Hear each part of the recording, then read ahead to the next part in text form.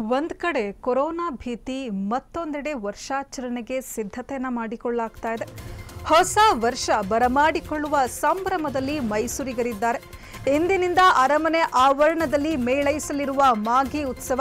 ಸಂಜೆ ಐದು ಮೂವತ್ತಕ್ಕೆ ಸಿಎಂ ಸಿದ್ದರಾಮಯ್ಯನವರು ಮಾಗಿ ಉತ್ಸವಕ್ಕೆ ಚಾಲನೆ ನೀಡಲಿದ್ದಾರೆ.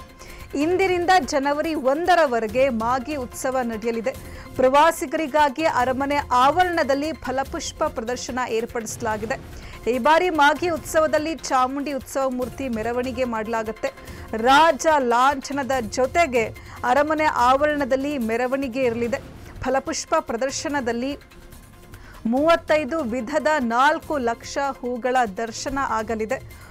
ಸೋಮನಾಥಪುರದ ಚನ್ನಕೇಶವ ದೇವಾಲಯ ಹೂಗಳಲ್ಲಿ ಅರಳಿರುವಂಥದ್ದು. ಕರ್ನಾಟಕದ ನಕ್ಷೆ, ಹಂಪಿ ಕಲ್ಲಿನ ರಥ, ಶಿವಲಿಂಗ, ಮಲೆಮಹದೇಶ್ವರ ಮೂರ್ತಿ, ಮಹಾರಾಣಿ ಕೆಂಪಚಲುವ ನಂಜಮ್ಮಣ್ಣಿ ಮೂರ್ತಿ, ಉಳುವ ಯೋಗಿ ಕಲಾಕೃತಿ ಗೊಂಬೆಗಳ ಪ್ರದರ್ಶನ ಹಾಗೂ ಹಳೆಯ ಛಾಯಾಚಿತ್ರ ಪ್ರದರ್ಶನ ಇರಲಿದೆ. ಅರಮನೆ ಅಂಗಳದಲ್ಲಿ ಇಂದಿನಿಂದ ಇಪ್ಪತ್ತೈದರವರೆಗೆ ಸಾಂಸ್ಕೃತಿಕ ಕಾರ್ಯಕ್ರಮವನ್ನು ಏರ್ಪಡಿಸಲಾಗಿದೆ.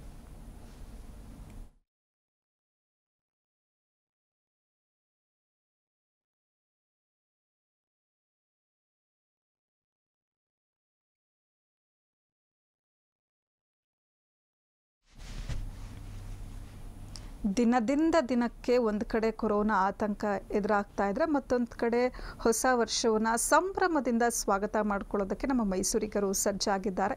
ಇವತ್ತಿನಿಂದ ಅರಮನೆ ಆವರಣದಲ್ಲಿ ಮಾಗಿ ಉತ್ಸವ ಮೇಳೈಸಲಿದೆ. ಸಂಜೆ ಐದು ಮೂವತ್ತಕ್ಕೆ ಸಿಎಂ ಸಿದ್ದರಾಮಯ್ಯನವರು ಅಧಿಕೃತವಾಗಿ ಮಾಗಿ ಉತ್ಸವಕ್ಕೆ ಚಾಲನೆ ಕೊಡಲಿದ್ದಾರೆ. ಇಂದಿನಿಂದ ಜನವರಿ ಒಂದರವರೆಗೆ ಮಾಗಿ ಉತ್ಸವ ನಡೆಯಲಿದೆ.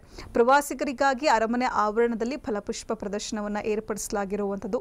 ಇನ್ನು ಈ ಬಾರಿ ವಿಶೇಷವಾಗಿ ಮಾಗಿ ಉತ್ಸವದಲ್ಲಿ ಚಾಮುಂಡಿ ಉತ್ಸವ ಮೂರ್ತಿ ಮೆರವಣಿಗೆಯನ್ನು ಮಾಡಲಾಗುತ್ತೆ.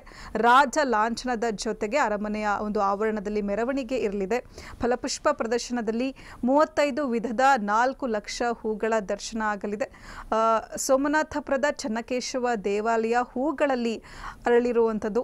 ಕರ್ನಾಟಕದ ನಕ್ಷೆ, ಹಂಪಿ ಕಲ್ಲಿನ ರಥ, ಶಿವಲಿಂಗ, ಬಲಿಮಹದೇಶ್ವರ ಮೂರ್ತಿ, ಮಹಾರಾಣಿ ಕೆಂಪಚಲುವ ನಂಜಮಣ್ಣಿ ಮೂರ್ತಿ, ಉಳುವ ಯೋಗಿ ಕಲಾಕೃತಿ ಗೊಂಬೆಗಳ ಪ್ರದರ್ಶನ ಹಾಗೂ ಹಳೆಯ ಛಾಯಾಚಿತ್ರ ಪ್ರದರ್ಶನ ಇರಲಿದೆ.